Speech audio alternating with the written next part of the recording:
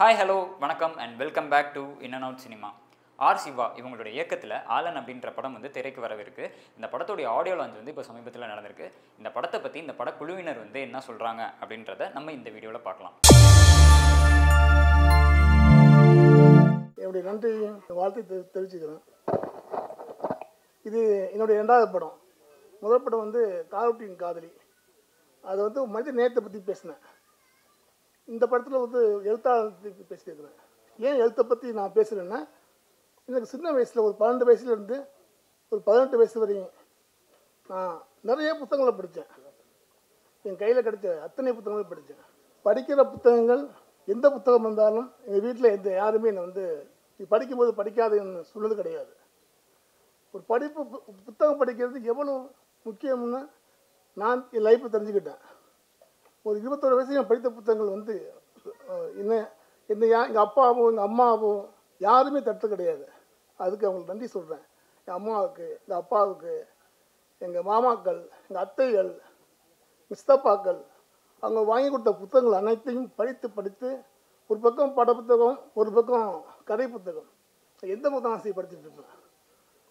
பாக்யேஷ் அவருடைய அவருடைய முதல் புத்தகம் திரைக்கதையை எழுது எப்படின்னு அதை தேடி படித்த பிறகு தான் எனக்கு ஒரு ஒரு ஆ- ஆவல். சினிமாவில் ஒரு காதல் இருந்துச்சு. நம்மளும் ஒரு டைரக்டர் ஆகணும். நம்மளும் சினிமாவுக்கு உள்ளே போகணும்னு நினச்சேன். அப்படி நினச்சி தான் சென்னை எம்சிஆர் ஃபிலிம்ஸில் வந்து இயக்குவாகணும்னு ஆகணும்னு ட்ரை பண்ணேன். அப்ளிகேஷன் போட்டேன். பட் குடும்ப சூழல். குடும்பத்தின் பொருளாதார பின்னடைவுனால எனக்கு ஒரு பொறுப்பு இருந்துச்சு குடும்பத்தில். சிங்கப்பூர் தேடி போனேன். இருபத்தி மூணு வயசில். முப்பது வருஷங்கள் சிங்கப்பூரின் வாழ்க்கை. முப்பது வருஷமாக ஒரு மெக்கானிக்கலாக ஒரு மெக்கானிக்கல் இன்ஜினியராக ஒரு இன்றைக்கி ஒரு தொ- ஒரு தொழில் பண்ணுற ஒரு ஒரு நிறுவனத்தை வச்சு நான் நடத்திட்டு இருக்கிறேன். அங்கேருந்து இங்கே பார்க்கும்போது இங்கே எழுத்துக்கு கொடுக்குற மதிப்பு என்ன? எழுத்தை ஏன் நம்ம புறக்கணிக்கிறோம்? புத்தகம் படிக்கிறதை ஏன் நம்ம வந்து புறக்கணிக்கிறோம்? அதை ஏன் நம்ம வந்து நம்ம நம்ம பிள்ளைங்களுக்கு இது அதை ஊக்கிக்க மாட்டேங்கிறோம்? ரொம்ப தப்பு பண்ணிகிட்ருக்கோம் இருக்கோம் நம்ம. பாடக புத்தகம் மட்டும் இப்போ உங்கள் வாழ்க்கை இல்லை. பாடக புத்தகங்கள் மட்டுமே இங்கே வாழ்க்கை இல்லை. அது மட்டுமே உங்களுக்கு எதுவுமே கொடுத்துடாது எஜுகேஷனை கொடுக்கும். எஜுகேஷன் வெரி இம்பார்ட்டன்ட் அதை தாண்டி இந்த பாட புத்தகம் தாண்டி இங்கே வாழ்வியலை பற்றி நிறைய எழுத்து இருக்குது நீ இங்கிலீஷ் தான் படிக்கணும் தேவை தமிழ்லேயும் அவ்வளோ லட்சக்கணக்கான எழுத்துக்கள் இருக்குது லட்சக்கணக்கான புத்தகங்கள் இருக்குது தயவு செய்து ஒரு வீட்டு பிள்ளைங்களுக்கு புத்தகத்தை படிக்க சொல்லுங்கள் நான் படிக்கும்போது வயசு பன்னெண்டு பதினெட்டு. அப்போ நான் எங்கள் ஸ்கூலில் மொத்தம் பதினெட்டு பேர் படித்தோம் டென்த் டென்த்து எழுதணும் நான் இந்த புத்தகம் படிச்சுக்கிட்டு பதினெட்டு பேர் நான் ஒரு ஆள் தெரிச்சு அடித்தேன் புத்தகம் படித்ததுனால கெட்டு போக மாட்டோம் நம்ம. படிக்க சொல்லுங்கள் வாழ்க்கை அங்கே தான் இருக்குது என் வாழ்க்கையும் அங்கே தான் இருந்துச்சு. அங்கே தான் தேடி எடுத்தேன். நான் சிங்கப்பூர் போய் ஒரு பிஸ்னஸ் மேனாக ஆன பிறகு எனக்கு இந்த கோவிட் வந்துச்சு எனக்கு இப்போ. இந்த கோவிட் வந்தப்போ ஒரு நாலு மாதம் எனக்கு வந்து ஒரு பிரேக் ஏன் திரும்ப ஒன்று வாழ்க்கை ஒரு பிரேக் அடிச்சிது. அப்போ தான் என்னுடைய உள்ளே இருந்த ஆழ்மனத்தில் இருந்த நான் போட்ட விதை பதினெட்டு வயசு போட்ட விதை எட்டி பார்த்துச்சு. என்ன ஏதாச்சும் பண்ணணும் ஏதாச்சும் எழுதணும் ஏதாச்சும் செய்யணும் அப்படின்னு தோணுச்சு. அதனால தான் முதல் படம் கார்ட்டிங் காதி பண்ணேன் ரெண்டாவது படம் ஆளன் ஒரு எழுத்தாளனின் வாழ்க்கை. அவனை ரெண்டு பெண்கள் வந்து காதலித்து அந்த அந்த காதல் அந்த பெண் பெண்களின் காதல் அதை பற்றின ஒரு வாழ்க்கை வாழ்க்கை வாழ்க்கை இங்கே வந்து என்ன ஒன்று ஒன்றே ஒன்று நான் சொல்லிக்க விரும்புகிறேன் இப்போ. ஐநா சபையில் ரெண்டாயிரத்தி பதினெட்டில் கிரேட்டாங்க ஒரு பொண்ணு பதினாறு வயசோ பதினெட்டு வயசோ தெரியாது. அந்த பொண்ணு வந்து அங்கே இருந்த உறுப்பினர்களை பார்த்து கேட்ட கேள்வி ஹவு டே யூ ஆல் எடுத்த உடனே இந்த கேள்வி கேட்டுச்சு. நீங்கள் யூடியூப்பில் பார்த்துக்கலாம் ஏன் கேட்டுச்சு? அது கேட்ட காரணம் global warming one point five Celsius increase ஆகிருக்கு அது கேட்குது நீங்கள் இந்த உலகத்தில் வாழ்ந்துட்டு போகிறீங்க இந்த உலகம் எங்களுக்கானது இந்த காற்று எங்களுக்கானது நீர் எங்களுக்கானது இந்த நியமம் எங்களுக்கானது. அதை வந்து அசுத்தம் பண்ணுறதுக்கு நீங்கள் யார்?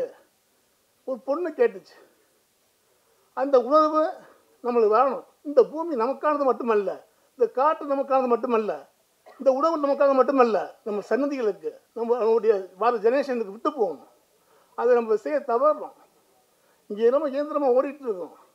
அந்த கொஞ்சம் திரும்பி பாருங்கள் வாழ்க்கையை இந்த அடுத்த ஜெனரேஷன் இங்கே வாழணும். அது அதே தான் இந்த படம் கொடைக்கானல் போயிருந்தேன். ஷூட்டிங் லொக்கேஷன் பார்க்குறதுக்கு. ஒரு நாலஞ்சு பசங்க வந்து விளையாண்டுருக்காங்க. அப்போ இதை வந்து விளையாடணும். ஒரு பையன் வந்து அஞ்சு ஆறு வயசு இருக்கும். அங்கிள் அங்கிள் நான் என்னன்னு கேட்டேன்.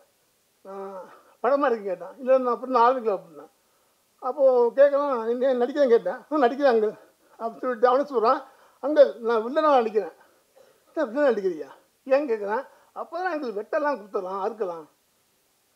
ஒரு வன்மம் எங்கே விதிக்கப்பட்டது பாருங்கள் ஒரு ஆறு வயசு பையனுக்கு ரத்தமும் தலை வெட்டுதலும் இங்கே வந்து சொல்லப்படுது. இது பெரிய பாவம் இல்லையா? மனசாட்சி இருக்கா நம்மளுக்குலாம் எதை விதைக்க முடியுங்க எதை விதைக்கிறோம்? நான் சிங்கப்பூர்லேருந்து இங்கே வர வேண்டியிருக்கு புத்தகம் படிக்க சொல்கிறது உங்களுக்கு. நான் இங்கே காசு சம்பாதிக்க வரல மனசு ஆதங்கம் வலி வேதனை இதை நோக்கி போயிட்டுருக்கோம். இது தெரியல எனக்கு. அந்த நிகழ்வுக்கு தான் அது அது- அதுதான் இந்த இந்த- இந்த படத்தை வந்து நான் எடுக்க தூண்டியது. ஒரு எழுத்து எழுத்து எங்கே போகும் இந்த எழுதுனா அது யாருக்கு பயன்படும்? இந்த எழுத்து எழுது எழுதும்போது இந்த உலகம் நம்மளுக்கு வந்து இப்போது புத்தகம் படிக்கும்போது ஆயிரம் ஃப்ரெண்ட்ஸ் தேவையில்லை நம்மளுக்கு. ஒரு புத்தகம் போதும் நம்மளுக்கு. வாழ்க்கையை மாற்றுறது நான் இன்னைக்கு நிற்கிறது காரணம் புத்தகம் தான். சத்தியமாக சொல்லுவேன் நான் நான் இன்னைக்கு ஒழுங்கான வாழ்க்கையையும் ஒரு தேடலையும் நான் இது வாழ்க்கையில் அமைத்து கொண்டதற்கு என் நண்பர்கள் கிடையாது. என் புத்தகம் தான். என் குருநாதர் திரு பாக்கியாஸ் அவர்கள் உண்மையிலே நான் வந்து பாக்கியா புத்தகம் வந்து முதல் பிறவி. எங்கள் ஊர்லேருந்து பதினெட்டு கிலோமீட்டர் பட்டுக்கோட்டை. முதல் பிரதி அன்றைக்கி தான் வெளியே வருது. நான் கடைக்கு ரெண்டு தவிர முந்தி கடைக்கு போயிருந்தேன் போய் நின்று கட்டை அப்படி தொங்கறதுக்கு முந்தி அந்த அந்த இதில் வாங்கி படித்தேன் அந்தளவுக்கு ஒரு ஒரு பேய் பிடிச்ச ஒரு படிப்பாளன் நான். ஆனால் சிங்கப்பூர் போனதுக்கு அதை படிக்க முடியல. ஏன்னா அங்கே ஒரு வாழ்வியல். ஜீவனத்தரமான வாழ்வியல். வேலை வேலை போயிட்டுருப்போம் அங்கே படிக்க முடியல. இங்கே படித்தேன் ஸோ அவருக்கு இந்த இந்த நேரத்தில் நான் உண்மையில் நன்றி சொல்லிக்கிறேன் சார் உண்மையிலே எங்களுடைய அந்த அந்த அந்த தூண்டுதல் உங்களுடைய கேள்விப்பட்ட இருக்கிற அந்த உண்மை அதெல்லாம் வந்து சத்தியமாக சொல்கிறேன் சார். யாராலையும் பண்ண முடியாது. தேங்க்யூ சார் இந்த படம் ஆலன் கண்டிப்பாக உங்களுக்கு பிடிக்கும். நிறையா லொக்கேஷனில் போய் ரொம்ப கஷ்டப்பட்டு எடுத்துருக்கோம். கிட்டத்தட்ட ஏழு லொக்கேஷனை ஜெர்மனியில் எடுத்துருக்கோம். காசி வாரணாசி ரிஷிகேஷ் காரைக்குடி ராமேஸ்வரம் கொடைக்கானல்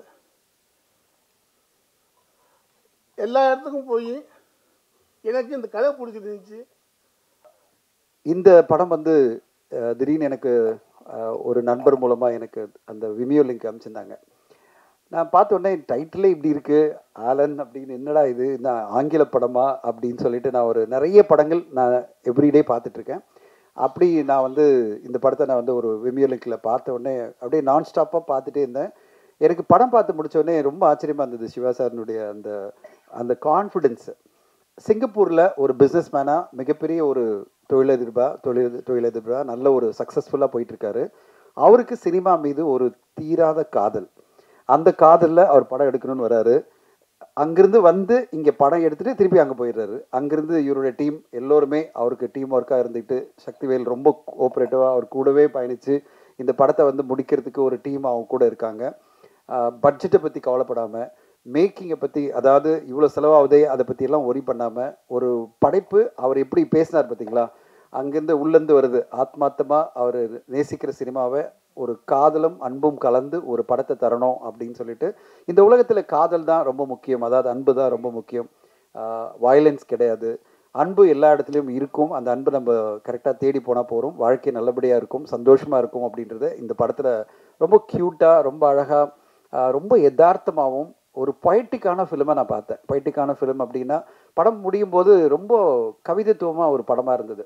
இப்படிப்பட்ட படம் வந்து அவர் ஆசைப்பட்டதெல்லாம் ஒன்றே ஒன்று தான் சார் இது ப்ராப்பராக ரிலீஸ் பண்ணி கொடுங்க சார். மக்கள் மத்தியில் போய் சேரணும் ஊடக நண்பர்கள்லாம் போய் ரீச் ஆகணும். எல்லாரும் பார்த்து இந்த படம் நான் சொல்ல வந்த கருத்து மக்கள் மத்தியில் ரீச் ஆன போகிறோம் நான் என்னுடைய சம்பாத்தியத்தில் ஒரு சினிமா சினிமாவுக்கு தமிழ் சினிமாவுக்கு நல்ல படத்தை கொடுக்கணும். அது வந்து கமர்ஷியலாக ஆக்ஷன் பிளாக்கோட அப்படிலாம் இல்லாமல் நான் வந்து என்ன நினச்சனோ எந்த காம்ப்ரமைஸும் இல்லாமல் சொல்லுவாங்களே வணிக சமரசம் இல்லாமல் நான் ஒரு படைப்பை கொடுக்கணும்னு ஆசைப்பட்றேன். ஒரு படைப்பாளியாக நான் ஜெயிக்கணும் சார். அதுக்கு நீங்கள் ஹெல்ப் பண்ணுங்க சொல்லும்போது நான் சொன்னேன் இப்படி இவ்வளோ தொழில் சினிமாவை நேசிக்கிறீங்களேன்னா என் நானும் அந்த மாதிரி தான் சினிமாவை ரொம்ப ஆழமாக நேசிக்கிற ஒரு ஆள் சுவாசிக்கிறதும் பேசுகிறதும் வாழறதும் சினிமாவில் தான்.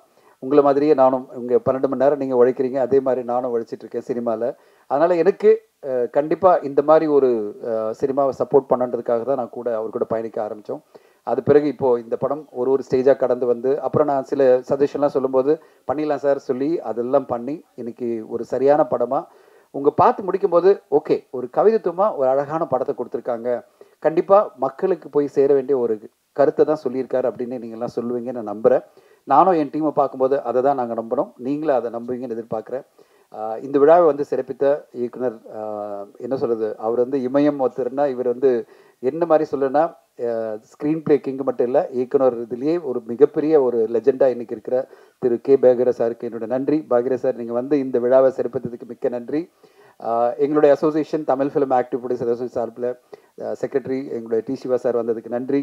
அண்ட் வெற்றி உங்களுடைய பயணத்தை நான் பார்த்துட்டே இருக்கேன். நிறைய நல்ல நல்ல படங்கள் வந்துகிட்டே இருக்குது உங்கள் கெரியரில் உங்களுடைய முதல் இட்டு தொட்ட காலம் ஆரம்பித்து ஜிவி நிறைய பிடிக்கும் எனக்கு ஜிவி படம்லாம்.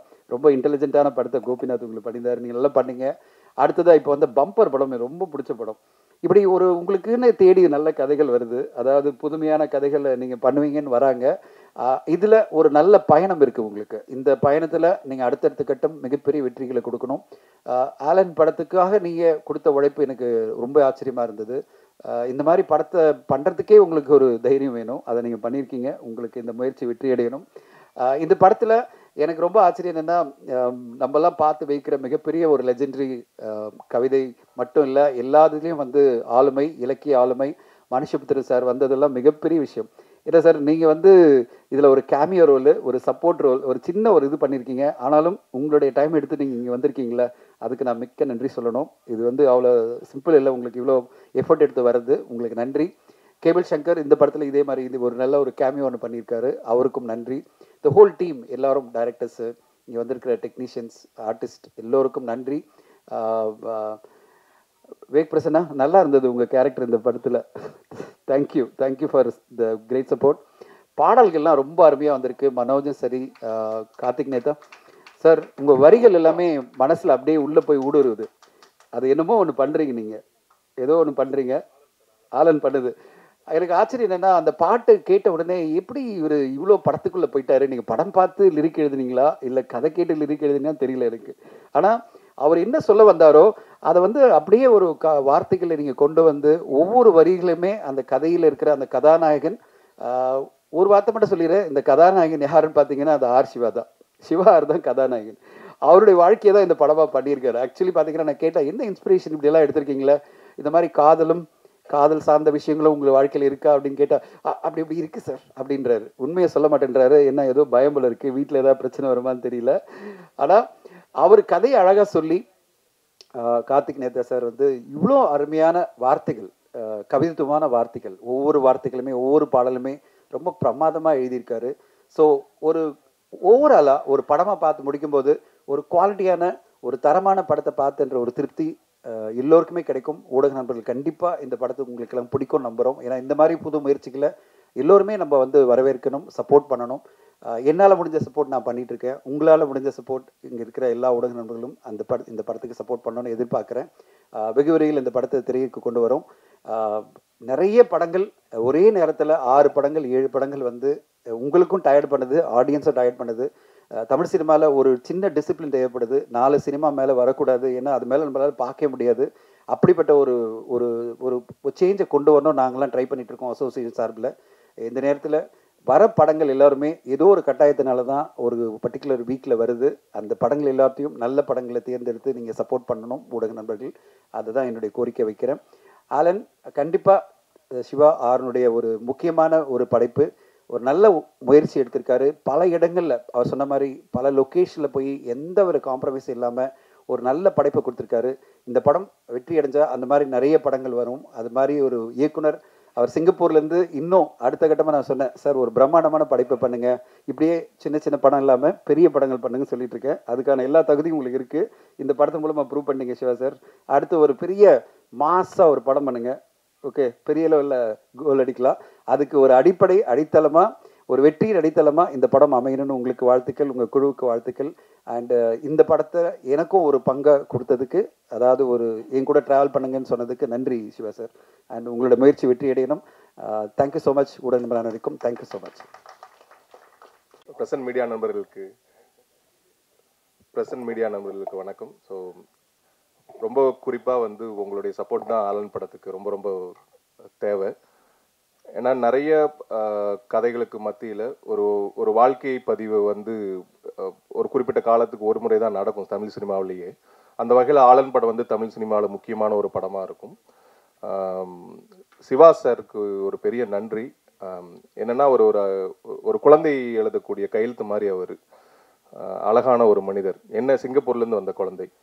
ஸோ அதனால் வந்து அவ்வளோ ஆசையாக அழகாக இந்த தமிழ் மேலே உள்ள ஆசையில் இந்த சினிமா மேலே உள்ள ஆசையில் வந்து ஒரு அற்புதமான படைப்பை கொடுக்கணும்னு அவர் எடுத்த முயற்சிக்கு நம்ம எல்லாருமே வந்து கண்டிப்பாக அவருக்கு நம்ம நன்றி சொல்லணும். Thank you so much sir so உங்களுடைய இந்த முயற்சியும் சரி இந்த படத்தில் எனக்கு நீங்கள் கொடுத்த வாய்ப்பும் சரி எல்லோருக்கும் கொடுத்த வாய்ப்பும் சரி எல்லாத்துக்கும் சேர்த்து நான் பெரிய நன்றி சொல்லிக்கிறேன் சார் இந்த படத்தை க சரியான முறையில் கொண்டு போய் சேர்க்கறது அது இன்னும் ஒரு முக்கியமான ஒரு கட்டம். அதற்கு ஆஹ், தனஞ்சயன் சார் மாதிரி ஒருத்தர் கிடைச்சது வந்து we are so lucky thank you sir எங்களுக்கு இப்போவே வந்து படத்தோட ரிசல்ட் தெரியும் sir so thank you so much sir அப்புறம் டி. சிவா சார் நான் அசிஸ்டண்ட்டாக அவர்கிட்ட வந்து சம்பளம் வாங்கின ஒரு பையன்.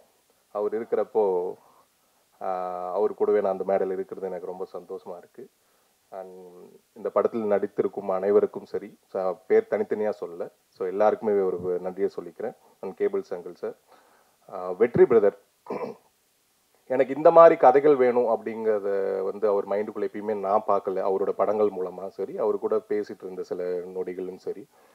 கதைக்கு நான் பொருந்தி போகணும். அந்த கதையை எனக்கு ட்ராவல் பண்ணி என்ன கூட்டிகிட்டு போனால் போதும்? நான் அந்த கதையை இழுத்துட்டு போகணும்னு அவசியம் இல்லைன்னு நினைக்கிற ஒரு தமிழ் சினிமாவுக்கு ரொம்ப முக்கியமான ஒரு நடிகராக தான் நான் வெற்றி பிரதரை பார்க்குறேன். அவருடைய எல்லா படங்களோட திரைக்கதையும் சரி கதையும் சரி அதுக்குள்ளே அவர் டிராவல் பண்ணிட்டு போயிட்டே இருக்கிற போயிட்டே இருக்காரு. அதுதான் நம்ம ஆடியன்ஸ்க்கும் கடத்தி கொடுத்துட்டு இருக்காரு. So thank you so much Vetri brother. நிறைய நல்ல படங்கள் கொடுத்துட்டே இருக்கீங்க. உங்கள் கூட நடிக்கலன்னு ஒரு ரெண்டு மூணு படங்கள் மிஸ் பண்ணது வருத்தப்பட்டேன். இந்த படத்திலும் சேர்ந்து நடிக்கலனாலும் உங்க கூட உங்களோட படத்தில் இருக்கிறது எனக்கு மகிழ்ச்சி. அண்ட் திரைக்கதை மன்னன் பாக்கிரா சாருக்கு நன்றி சார் சின்ன பையனாக வந்து அவரோட படங்களை பார்த்து எதுக்கு என்ன அர்த்தம்னு தெரியாமல் எல்லாரும் சிரிக்கிறப்போ நான் அமைதியாக இருந்து எனக்கு விவரம் தெரிஞ்சு நான் சிரிக்கிறப்ப எனக்கு பக்கத்தில் வந்து அமைதியாக இருந்த காலகட்டம் வரைக்கும் அவரை பார்த்து ரசித்து இப்படி ஒரு மாமேதையோட ஒரு மேடையில் நான் இருக்கிறது ரொம்ப ரொம்ப ரொம்ப ரொம்ப சந்தோஷம். அண்ட் எழுத்தாளுமைகள் அதிகமா இருக்கிற மேடையில் வந்து பேசுறது ரொம்ப பிரச்சனை. ஏன்னா பாதி அறிவு இல்லாமல் நம்ம ஏதாச்சும் பேசுறோம் அதுக்கப்புறம் வரவங்க பதில் சொல்லி நம்மளை கொண்டுருவாங்க மனுஷிபுத்திரன் சார் அவர்களுக்கு பெரிய பெரிய நன்றி. எல்லா எல்லா எழுத்துக்களையுமே எல்லா வார்த்தைகளிலுமே வந்து ஒரு பெரிய உலகத்தை அடைக்க முடியாது வந்து எழுத்துக்களால் மட்டும்தான் முடியும். அது செஞ்சுட்டு இருக்கிற எழுத்துலக மாமேதை மனுஷிபுத்திரன் அவர்களுக்கு நன்றி. என்னுடைய சகோதரர் பாடலாசிரியர் கவிஞர் இந்த நூற்றாண்டின் இணையற்ற கவிஞன் கார்த்திக் நேதா அவர்களுக்கு நன்றி. பேச வச்சிருந்தது ஒரே ஒரு லைன் தான். ஏதாவது அது மட்டும் பேசிட்டு போயிடலாம். எனக்கு இந்த படம் ஏன் என்ன ஸ்பெஷல் அப்படின்னா நிறைய படம் இன்னும் நான் இடம் நான் நடிச்சு இடம் பெற்றுக்கிற படத்தில் அவர் பாட்டு எழுதியிருக்காரு. ஆனால் ஒரே மேடையில் நாங்கள் இருக்கிறது இதுதான் முதல் மேடை. அதனால எனக்கு ஆல் அண்ட் ஸ்பெஷல் அப்படின்னு சொல்றதுக்கு ப்ரிப்பேர் பண்ணிட்டு வந்தேன். அவர் வந்து சொல்லிட்டு போயிட்டாரு. So thank you so much love you Karthik Karthik Nehru Karthik Prasanna அவர். நான் விவேக் பிரசன்னா அவர் கார்த்திக் பிரசன்னா. ஸோ அது அது அந்த பேரையும் நம்ம வந்து பதிவு பண்ணிடலாம் அந்த இடத்துல. ஆனால் கார்த்திக் நேத்தா தான் அவருக்கு வந்து என்றைக்குமே பெரிய ஒரு ஒரு அங்கீகாரமாக இருக்குது அங்கீகாரமாக இருக்கும். இரு காலின் இடையிலே உரசும் பூனையாய் வாழ்க்கை போதும் அடடா. இந்த ஒரு வாழ்த்து இந்த ஒரு வரி எழுதுனதுக்காகவே நூற்றாண்டுகள் கடந்தும் கடந்தும் நீ வாழ்ந்து கொண்டே இருப்பாய். Thank you so much and Manoj brother இப்பதான் பேசிட்டு இருந்தேன். பேசவே தெரியாது பேசவே தெரியுதுன்னு எக்கச்சக்கமாக பேசிட்டு போயிட்டாரு. நல்லா பாடுவார். அருமையா இருந்தது. ஏன்னா இதுக்கு முன்ன ஒரு படத்துல வந்து அவர் சொன்னார் இல்லையா இன்னொரு படம் நான் அதுதான் ஃபர்ஸ்ட் கமிட் பண்ணேன். அந்த படம் தான் ரிலீஸ் ஆக வேண்டியதுன்னு. அந்த படத்துல நான் நடிச்சிட்டு இருக்கிறப்ப நாங்க ஒரு பாட்டுக்கு டான்ஸ் ஆடிட்டே இருக்கோம். லிரிக் நல்லா இருக்கே அது என் கார்த்திக் நே- கார்த்திக் நேத்தா எழுதுனது என்னோட அண்ணா எழுதுனது எனக்கு தெரியாது. முடிச்சுட்டு சாங் முடிச்சுட்டு போய் கேட்டோம். சார் என்ன சார் நல்லா இருக்கே லிரிக்கு சூப்பரா இருக்கு சார். உங்க அண்ணன் எழுதின பாட்டு தான் அப்படின்னாங்க. இந்த மாதிரி நிறைய மிராக்கள் நடந்திருக்கு. And Kasi Viswanathan sir and Jeeva ப படத்தின் ஜிவி படத்தின் இயக்குனர் அவர்களுக்கும் எல்லாருக்கும் இங்கே யாராச்சும் மிஸ் பண்ணிட்டுருந்தா நான் மன்னிச்சிடுங்க. அண்ட் டிஓபி சார் ரொம்ப பொறுமையாக அழகாக சிரிச்சிட்டே இருப்பார்.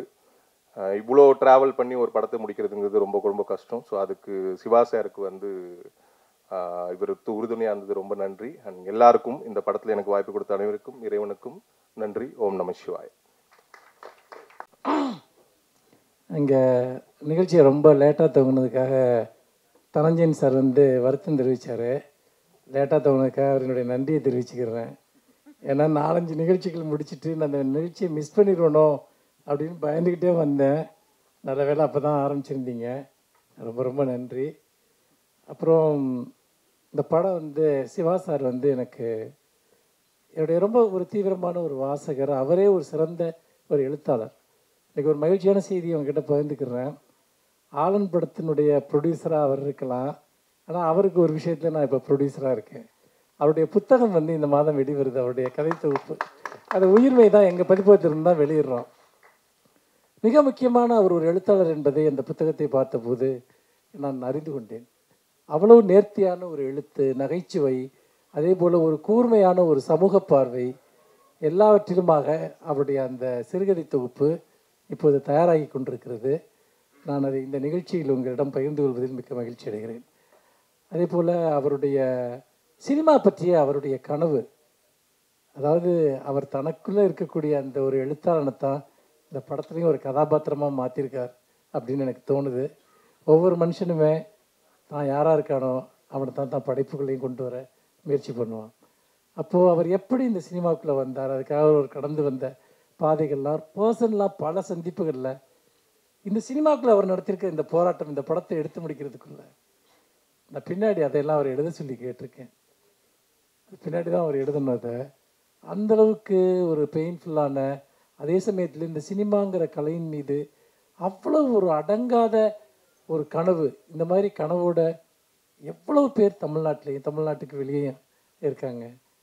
இன்றைக்கி அந்த கனவுக்கு ரொம்ப பக்கத்தில் வந்து அவர் நிற்கிறார் உங்கள் எல்லாருடைய ஆதரவையும் வேண்டி நிறைய வந்து இந்த மாதிரி ஒரு படம் தன்னுடைய வாழ்நாள் சேமிப்புலாம் வச்சு ஒருத்தர் ஒரு படத்தை எடுக்கிறார். ஒரு நல்ல படமாக எடுக்கணும்னு அதை நினைக்கிறார். ஒரு சொசைட்டிக்கு ஒரு மெசேஜ் சொல்லக்கூடிய ஒரு படமாக எடுக்கணும்னு நினைக்கிறார்.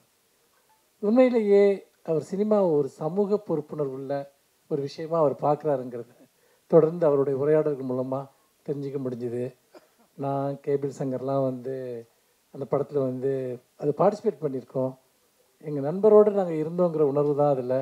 ரொம்ப ரொம்ப முக்கியமானது. அவருடைய கனவுகள் நிச்சயமாக வெல்லட்டும். அவர் நிச்சயமாக அவருக்கு இப்போ தனஞ்சயன் சார் அந்த படத்தை தன்னுடைய கையில் எடுத்து செய்கிறாருங்கிறப்போ நான் இன்னைக்கு காலையில் கூட சிவா சாரை பார்த்தேன். அப்போ தனஞ்சயன் சார் அவர் பார்த்துப்பார். மேக்ஸிமம் அவர் என்ன செய்ய முடியுமோ அதை பண்ணுவாருன்னு சொன்னேன். ஆனால் தனஞ்சயன் சார் எனக்கு ரொம்ப வருஷமாக தெரியும். அவர் எவ்வளோ டெடிகேஷனோட அவர் இந்த விஷயங்களை செஞ்சுட்டு வர்றாருன்ட்டு. அப்படி பார்க்குறப்ப என்னுடைய அருமை நண்பன் கார்த்திக் மேத்தா இந்த மேடையில் இருக்கார். எல்லாத்தையும் விட பாக்கியராஜ் சார். நாங்கள் ஒரு மூணு மாதத்துக்கு முன்னாடி கல்லூரி மாணவர்களுக்காக அண்ணா நூற்றாண்டு நூலகத்தில் ஸ்க்ரீன் பிளே ரைட்டிங் பற்றி ஒரு மூணு நாள் ஒர்க் ஷாப் நடத்தினோம். இன்றைக்கி தமிழில் கரண்ட்டாக இருக்கக்கூடிய எல்லா முக்கியமான இயக்குனர்களும் வந்து அதில் பேசினாங்க. அந்த அந்த ஒர்க் ஷாப்பில் பாக்கியராஜ் சார் இல்லையே ஒழிய வந்த அத்தனை பேருமே அவரை பற்றி தான் பேசினாங்க ஸ்க்ரீன் பிளே பற்றி பேசல அவர் படம் பண்ணியே எவ்வளோ வருஷங்கள் ஆயிடுச்சு. ஆனால் ஏன் அவரை கடந்து பேசுறதுக்கு இன்னொரு ஆள் வரல? அப்படிங்கிறது எனக்கு ரொம்ப ஆச்சரியமாக இருந்தது. ஏன்னா அப்படி ஒவ்வொரு படத்தையும் எல்லாருமே சொல்கிறாங்க ஒவ்வொரு சீனையும் சொல்கிறாங்க இன்னைக்கு மோஸ்ட் சக்ஸஸ்ஃபுல்லாக இருக்கக்கூடிய டேரக்டர்ஸ் எல்லாருமே. அப்போ ஒரு ஃபீல்டில் அவருடைய தடத்தை அவர் எப்படி ஒரு பயணியராக இருந்திருக்காருங்கிறத நம்ம வந்து அந்த ஒர்க் ஷாப்பில் நான் பார்த்தேன். எல்லாமே யங் டேரக்டர்ஸ் ரொம்ப ஒரு ஒரு ஒரு அஞ்சு வருஷத்துக்குள்ளே பத்து வருஷத்துக்குள்ளே படம் பண்ணவங்க. அவங்க எல்லாருமே அவரை பற்றி பேசினாங்க.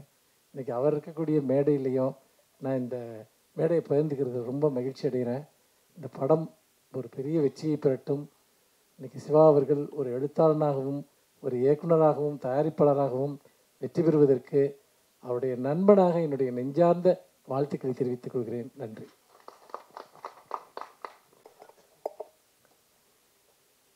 இதயபூர்வமான மரியாதைக்கும் பேரன்புக்கும் உரிய பாகிராஜ் அவர்களுக்கு வணக்கம். மற்றும் இங்குள்ள ஊடக நண்பர்கள் அனைவருக்கும் இந்த படக்குழுவினர் அனைவருக்கும் என்னுடைய இனிய வணக்கம். தாமதமாக வந்ததற்காக சற்று மன்னிப்பு கேட்டுக்கொள்கிறேன். முதல்ல வரும்போது இயக்குனர் தயாரிப்பாளர் சிவா அவர்கள் பேசிட்டு இருந்தார். அந்த பேச்சு கேட்கிற இருந்தது.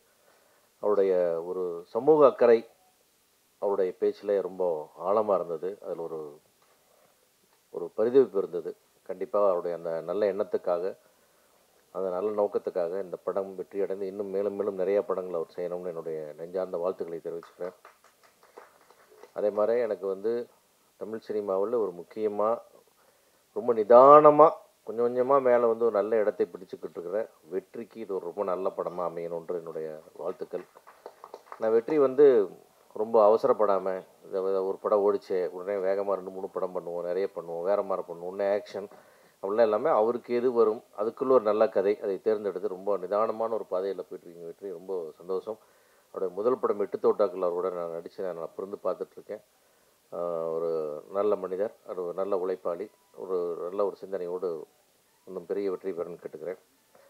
அதே போல் இங்கே இருக்கிற புதிய இ- இசையமைப்பாளர் மனோஜ் அவர்களுக்கும் பாடலாசிரியர் கார்த்திக் நேதா அவர்களுக்கும் தம்பி பிரசன்னாவுக்கும் மற்றும் இங்குள்ள அனைவருக்கும் என்னுடைய நெஞ்சார்ந்த வாழ்த்துக்கள். தனஞ்சயன் சார் வந்து எந்த வேலையை செஞ்சாலும் ஒரு பர்ஃபெக்ஷன் டு த கோரில் பண்ணுவார்.